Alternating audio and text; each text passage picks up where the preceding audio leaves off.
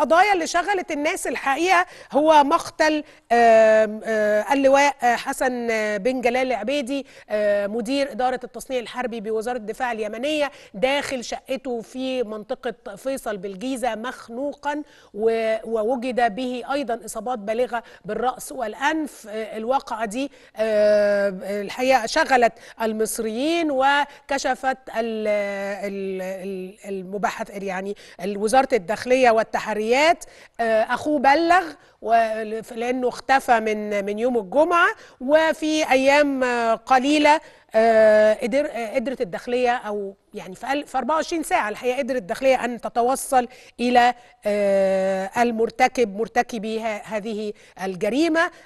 زميلنا محمود عبد الراضي رئيس قسم الحوادث باليوم السابع. محمود مساء الخير. يعني سرعة في القبض على الجناة ماذا حدث؟ واحكي لنا القصة.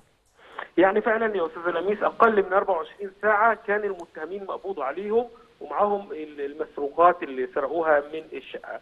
آه، باختصار شديد اللي حصل إن في اثنين من المتهمين تربطهم علاقة آه، صداقة مع المجني عليه الله يرحمه كانوا بيترددوا على الشقة بتاعته في منطقة الجيزة.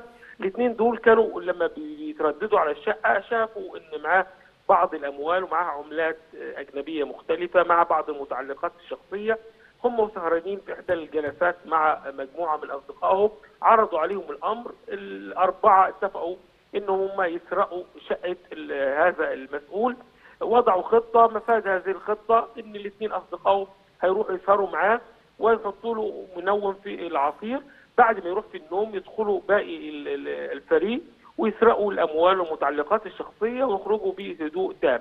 لكن للأسف آه، الشديد ولاجل حظهم السيء إن بعد وضع المنوم في العصير الراجل لم يفقد وعيه بالكامل وبدأ يشعر بيهم بدأ يقاومهم.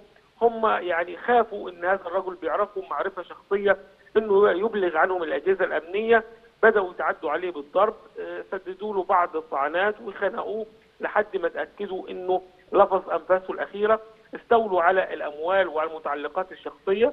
وكان معاه مفتاح عربية عربية مأجرها بيتحرك بيها ما بين الحين والآخر آه، خدوا العربية دي ودوها عند آه، إحدى آه، قريبات المتهم الأول الأجهزة الأمنية قدرت من خلال التحريات تعرف إن في اثنين بيترددوا عليه عرفت هويتهم تم القبض عليهم في أقل من 24 ساعة كانت المسروقات موجودة وكان المتهمين معترفين بكامل الجريمة أمام أجهزة الأمن.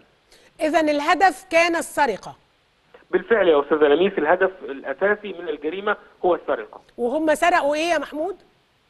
سرقوا مجموعة من الأموال آم، عملات أجنبية مختلفة سرقوا بعض المتعلقات والأجهزة الشخصية الموجودة عنده في البيت وسرقوا سيارة هو مستأجرها من أحد المعارض بيتحرك بيها في شوارع القاهرة.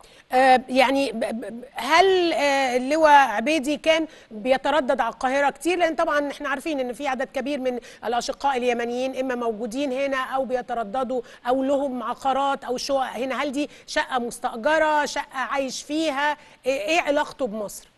هو الشقة دي بيتواجد فيها ما بين الحين والآخر بيتردد عليه بعض أصدقائه من ضمنهم آه، اثنين آه، من ال- المتهمين ويعني حتى سنهم آه، سن صغير. إحنا بنتكلم عن جميع المتهمين أعمارهم من 19 ل 29 سنة.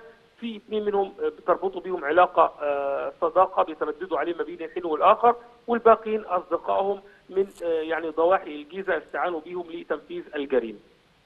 آه يعني غريبة إن كل فعلا أعمارهم آه، صغيرة صغيرة السن يعني.